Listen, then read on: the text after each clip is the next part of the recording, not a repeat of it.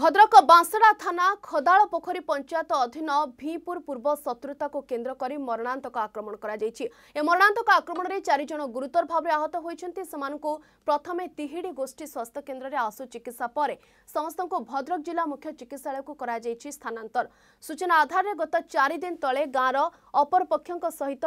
ଘରୋଇ ଝଗଡ଼ା ହୋଇଥିବା ବେଳେ ଆଜି ଏ ପକ୍ଷଙ୍କୁ ଆକ୍ରମଣ କରାଯାଇଥିବା ସୂଚନା ରହିଛି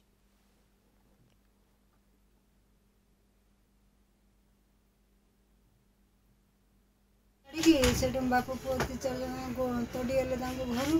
ବନ୍ଧୁ ଆମର ଠିଆ ହେଇଛି ଯେତେ ଗାଡ଼ି ରଖୁଛନ୍ତି ଗଲେ ବାଡ଼େଇଲେ ତାଙ୍କୁ ମୁଁ ତ ଠିଆ ହେଇଛି ତାଙ୍କୁ ବାଡ଼େଇଲେ ମୋତେ ବାଡ଼େଇଲେ ଘଟଣା ଆଜି କିଛି ଥିଲାନି କାଲି ଯାଇ ସେଟା ଆସି ପହଞ୍ଚିଲେ ବାଡ଼େଇଲେ ଆଉ ଆଜି ଘଟଣା କି ସେ ସହିତ ନାଡ଼ କାଢ଼ିକି ଆସୁଛନ୍ତି ଏଣୁ ଗଲେ ବାପକୁ ବାଡ଼େଇଲେ କାଳିଆ ଦାସ କେଶବ ଦାସ କଟିଆ ଦାସ କେଳୁଆ ଦାସ ବଣିଆ ଦାସ ଚୌଧୁରୀ ଦାସ